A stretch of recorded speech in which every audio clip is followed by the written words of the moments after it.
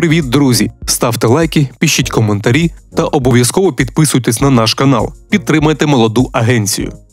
Компанія Віктора Пінчука Інтерпайп, яка розміщена в Москві, змогла впоратися з економічними проблемами і перемогти російські санкції. Про це пише телеграм-канал Наблюдатель. До слова, процвітанню бізнесу Пінчука не завадили санкції, які Росія вела проти України в кінці 2018 року. Уже в наступному 2019 році Інтерпайп експортував РФ труб і коліс більш ніж на мільярд гривень. Більше того, компанія компенсувала втрату частини замовлень в Росії за рахунок більш дорогих поставок державному Нафтогазу. Згідно з підрахунками ряду видань, тільки на продажу суцільно катаних коліс в Росію компанія Пінчука заробила понад 200 мільйонів доларів. Дані контрактів між інтерпайпом і російськими покупцями, які знаходяться у відкритому доступі, демонструють те, що лише на українському нафтогазі компанія Пінчука ймовірно змогла заробити набагато більше. Наприклад, можна взяти договір між товариством Башнефть видобуток Уфа і товариство Інтерпайп М Москва на поставку насосно-компресорних труб виробництва Нікопольського заводу Інтерпайп Нікотюб від грудня 2017 року.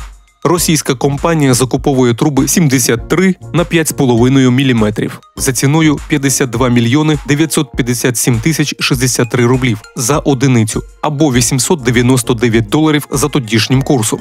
Такі ж насосно-компресорні труби 73 на 5,5 мм від того ж Нікопольського заводу держава Укргазвидобування в квітні 2018 року купує у Інтерпайпа по 41 тисячі 415 гривень за одиницю або 1651 долар.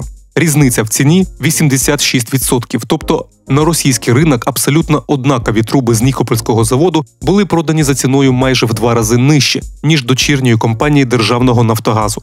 Але найцікавіше в тому, що в ціну в 1651 долар для Нафтогаза закладений ЖД тариф на доставку труб від Нікополя до Полтави. Уточнимо, що відстань складає всього лише 300 кілометрів, в той час як до російської Башнефть 2079 кілометрів. Але при цьому українська компанія переплачує за доставку більше ніж РФ. І так, з поправкою на ЖД тариф для доставки труб різниця в ціні досягає 300%. Таким чином, за рахунок логістичних витрат продажу труб для Нафтогазу несподівано зростає до 150-200%. Для порівняння інші контракти, які укладала компанія Пінчука, розбіжність в ціні в середньому були від 90 до 120%. Причому у всіх контрактах чітко зазначений виробник і конкретна номенклатура товару. Різниця іноді з'являється лише в періодах підписання контракту. Втім, ринок трубної продукції однозначно не володіє такою волатильністю, щоб часовий проміжок в 3-5 місяців міг пояснити трикратну різницю в ціні. До зустрічі, ставте лайки, пишіть коментарі та обов'язково підписуйтесь на наш канал. Підтримайте молоду агенцію.